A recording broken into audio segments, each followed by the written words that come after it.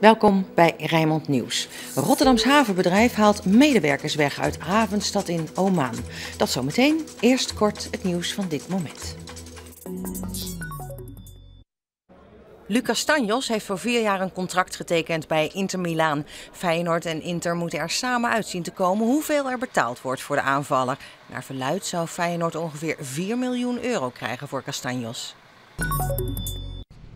Er lijkt beweging te zitten in de CAO-onderhandelingen voor drie shorebedrijven in de Rotterdamse haven. Vanmorgen hebben ongeveer 100 werknemers van ILS het werk neergelegd. Vanmiddag gaat de vakbond weer in gesprek met deze werkgever. Ook bij APM Terminals legden de shorters het werk enige tijd neer. En vanavond en vannacht worden werkonderbrekingen verwacht bij Matrans. Bij een ongeluk in Wijngaarden is vanochtend vroeg een automobilist om het leven gekomen. Even buiten het dorp reed de auto tegen een boom. Vervolgens schoot hij terug de weg op en botste tegen een tegemoetkomende auto. De bestuurder overleed ter plaatse. Inzittende van de andere auto is met nekklachten naar het ziekenhuis gebracht.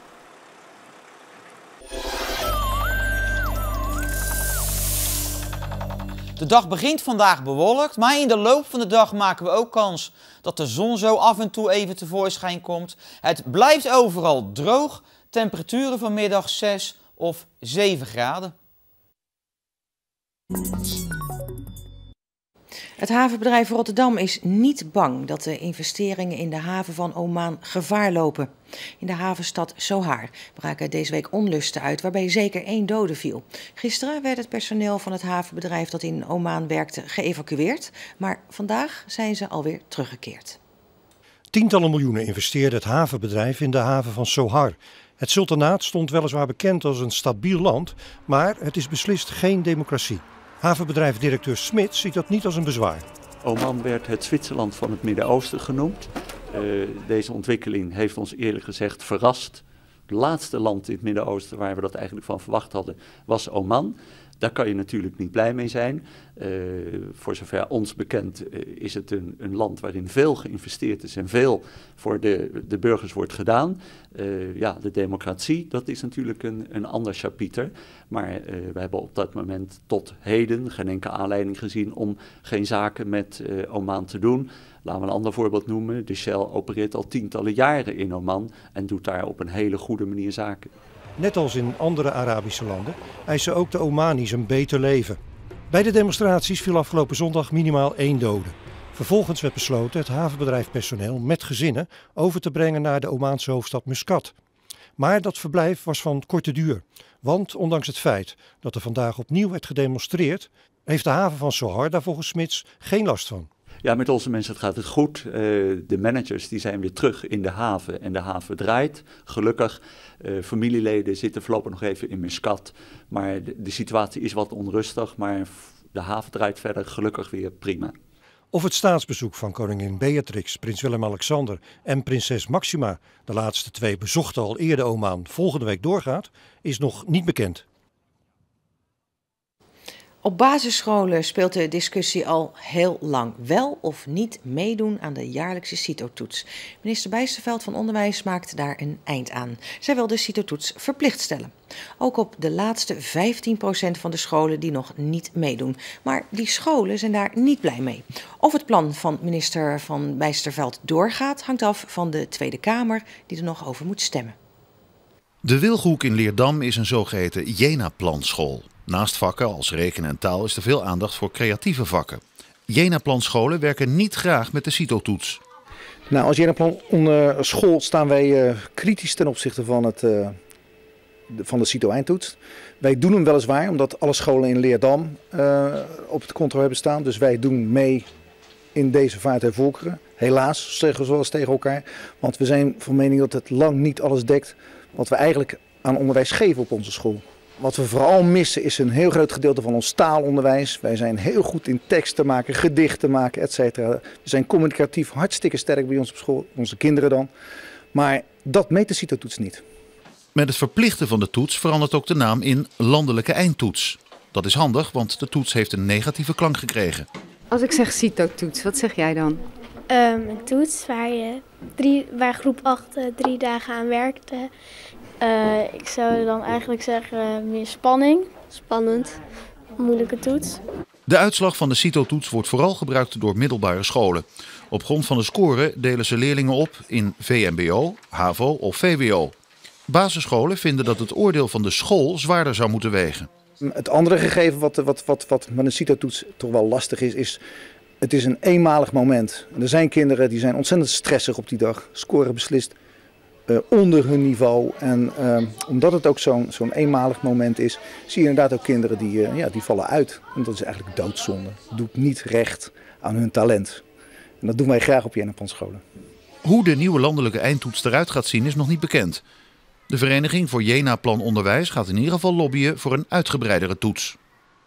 Voorlopig is het nog uh, de cirkelzaag, om het maar heel hard te zeggen, waar die dan naartoe moet. En dat, ja, dat gaat mij echt aan mijn hart. Na een spontane actie lijkt er toch weer beweging te zitten in de CAO-onderhandelingen voor drie shorebedrijven in de Rotterdamse haven. Vanochtend legden ongeveer 100 werknemers van International Lashing Service, ILS, het werk neer. Vanmiddag is er overleg geweest tussen deze werkgever en de vakbond. Ook bij APM Terminals legden de shorders het werk enige tijd stil. En vanavond en vannacht worden werkonderbrekingen verwacht bij Matrans. Zo'n 100 werknemers van het shorebedrijf ILS verzamelden zich vanmorgen bij het Maasgebouw bij De Kuip. Uit protest tegen het CAO-aanbod van de werkgever hadden ze besloten het werk een aantal uur neer te leggen. Al sinds juni wordt er gesproken over een nieuwe CAO. Qua lonen is er geen probleem, maar het struikelblok is het flexibel oproepbaar zijn. Wij zijn in de haven zijn we gewend, als je bijvoorbeeld in een volcontinu systeem werkt, dan weet je eigenlijk al het hele jaar wanneer je moet werken en wanneer niet. Bij ILS, dan zegt de werkgever, nou ik kan diensten gaan verschuiven. Dus in plaats van dat je bijvoorbeeld om kwart over elf s'avonds moet werken, zou het ook wel eens kwart over drie s'nachts kunnen zijn of kwart over zeven s'avonds.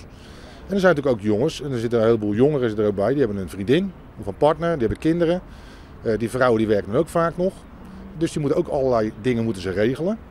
En als jij natuurlijk net van tevoren even te horen krijgt dat je dus uh, vier uurtjes eerder moet komen, ja, dan kunnen ze geen oppassen regelen. Dat is niet leuk, dat begrijp ik ook wel. Maar ja, uh, als er een boot pas om half vier komt, dan hebben we pas om half vier de mensen nodig dat, dat, dat is niet leuk. Vandaar ook dat we het gemaximaliseerd hebben.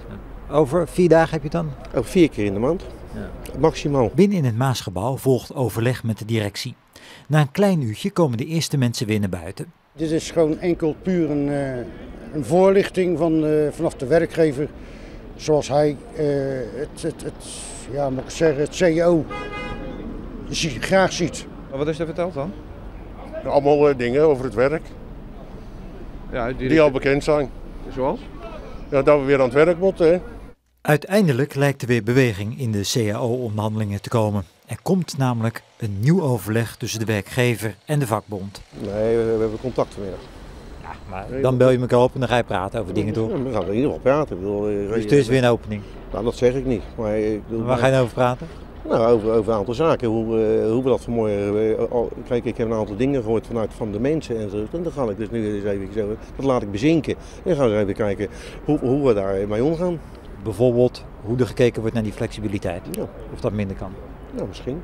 Laten we nou zorgen dat wij binnen nu en drie weken een oplossing hebben voor dit conflict. Ja, voor IOS en voor Matrans. Voor de hele shoresector.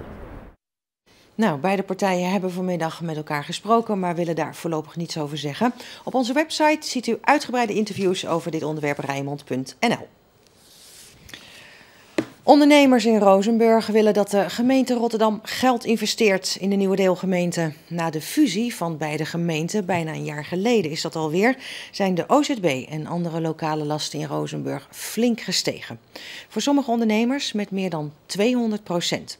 Dat het ging gebeuren, wist het bedrijfsleven wel. Maar de Rozenburgse ondernemers vinden het onverteerbaar dat al het geld in de centrale Rotterdamse belastingpot verdwijnt. Martin van Os stelt in zijn bedrijf op industrieterrein Pothof leesmappen samen. Bijna heel Nederland wordt van hieruit bediend. Dat zijn lasten dit jaar flink zouden stijgen wist hij, maar dat het zoveel zou zijn heeft hem verrast. De verhoging varieert per bedrijf en ligt tussen de 100 en de 205 procent. Dat is voor uh, heel ondernemers en winkeliers is dat uiteraard uh, schrikken. Want uh, ja, kijk naar, naar, een voorbeeld, als men nu 1000 euro betaalt aan OZB en er komt 100%, 120% bij, dan wordt het 2200 euro. Nou, dat geld moet uiteindelijk door ondernemers en de winkeliers eerst verdiend worden, wil betaald kunnen worden. Wij dachten dat het rond de 170 procent zou zijn. En daar werd altijd een beetje lacherig over gedaan, alsof dat toch wel echt gigantisch zou zijn. En nu blijkt het tussen de 180 en de 205 procent te zijn. Bedrijventerrein De Pothof kan wel een opknapbeurt gebruiken. De ondernemers hebben zelf zeven jaar geleden het parkeerprobleem opgelost door op eigen kosten extra parkeerplekken aan te leggen. Maar er moet meer gebeuren. De Rozenburgse OZB levert Rotterdam dit jaar zo'n 165.000 euro op, zo hebben de ondernemers becijferd. En dat geld wil Rozenburg terug. Gaat in ieder geval het industrieterrein opknappen. Als je kijkt naar de rioleringen in, in, in het gebied van het industrieterrein. Ja, dat laat te wensen over. Het wegdek laat te wensen over. Eh, de uitstraling laat te wensen over. Ja, zo zijn er natuurlijk een fors aantal uh, problemen die er liggen en die dan toch opgepakt kunnen worden. Dat de belasting verhoogd is, daar is op dit moment niets aan te doen. Maar doe wat terug voor Rozenburg en daar zien we helemaal niets van. Of er OZB-geld wordt gebruikt om Rozenburg op te knappen, wordt uiteindelijk besloten op de Koolsingel. En wethouder Kriens gaat over de belastingen. Ze is met vakantie deze week en kon daardoor niet reageren. Het is religieus erfgoed dat niet verloren mag gaan. De oude predikantenborden van de Nederlands Hervormde Kerk in Portugal. In de kerk is er geen plaats meer voor. Maar tot nu toe wil niemand ze hebben. Een oud militair depot aan de Hoogvlietse Kerkweg in Portugal wordt door de Nederlands Hervormde Kerk gebruikt als opslagplaats. Esther Sleg, die anti-kraak op het terrein woont, wil voorkomen dat de predikantenborden in de houtkachel verdwijnen. Nou, daar staan de borden. Staan ze, dit is eigenlijk een schuur van de rommelmarkt en uh, ze staan hier voor eigenlijk al een paar jaar nu. En uh, in uh, juli moeten we hier weg en dan moeten die borden ook weg. Tot 1929 hingen de borden in deze kerk, de Nederlands Hervormde Kerk in Portugal.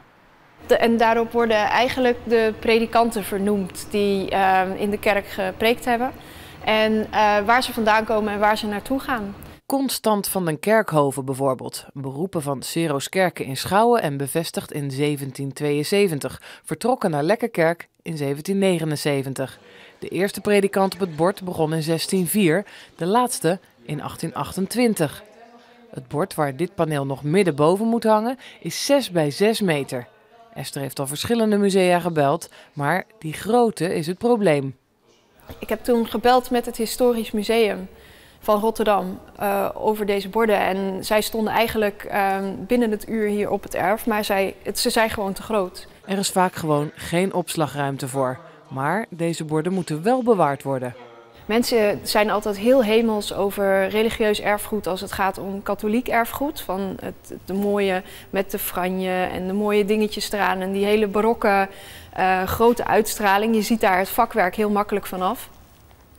En uh, dit soort dingen zijn denk ik net zo goed uh, religieus erfgoed voor Nederland. En als je goed kijkt dan zie je dat het echt heel mooi is afgewerkt. En dit is gewoon iets dat mag niet zomaar, um, zomaar kapot gaan, denk ik.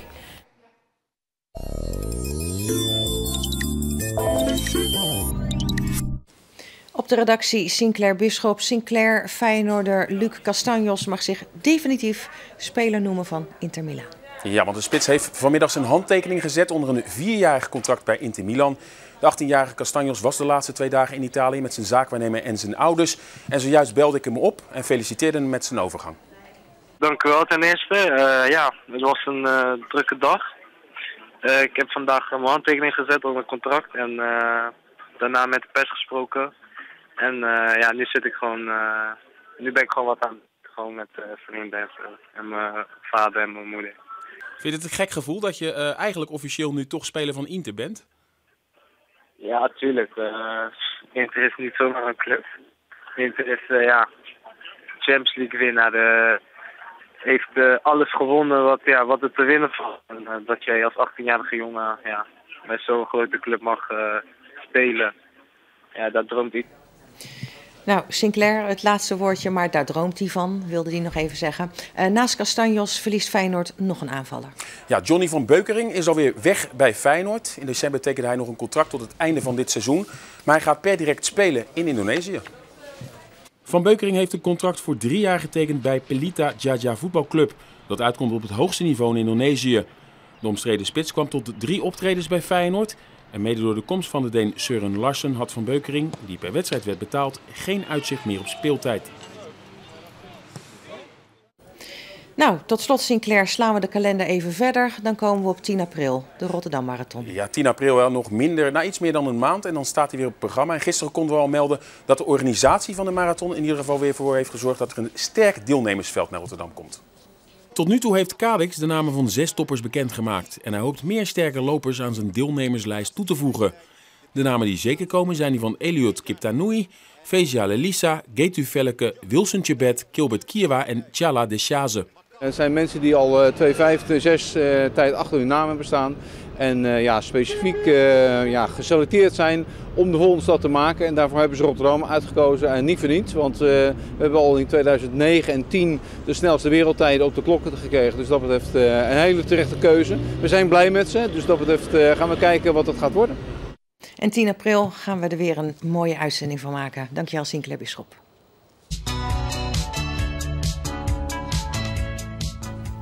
Ook al is een deel van de regio deze week heerlijk met voorjaarsvakantie, morgen zijn toch echt de provinciale statenverkiezingen. Via de provincie kiezen we indirect ook de Eerste Kamer en daar gaat het vooral om bij deze verkiezingen. In het laatste deel van onze serie Zuid-Holland kiest het belang van de Eerste Kamer. De afgelopen dagen hebben we meerdere onderwerpen behandeld die spelen hier in de provincie Zuid-Holland bij de provinciale statenverkiezingen. Bijvoorbeeld het openbaar vervoer in de kleine dorpen in de provincie. Maar ook de aanleg van wegen en de hoogte van de motorrijtuigenbelasting.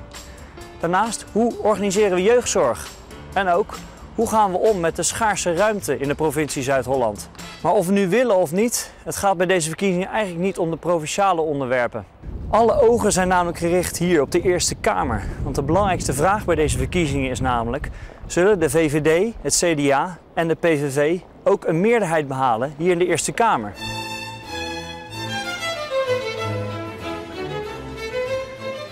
...35 van de 75 zetels hebben VVD en CDA op dit moment in de Eerste Kamer. De PVV is hier nog niet vertegenwoordigd. De drie partijen hebben net geen meerderheid dus. En dat maakt het voor het kabinet Rutte lastig regeren. Want de Eerste Kamer moet alle wetten goedkeuren. Er worden in Nederland wetten gemaakt. De regering ontwerpt dat, die bespreekt dat met de Tweede Kamer, die vindt dat goed. En als het goed gevonden is in de Tweede Kamer, komt het hier.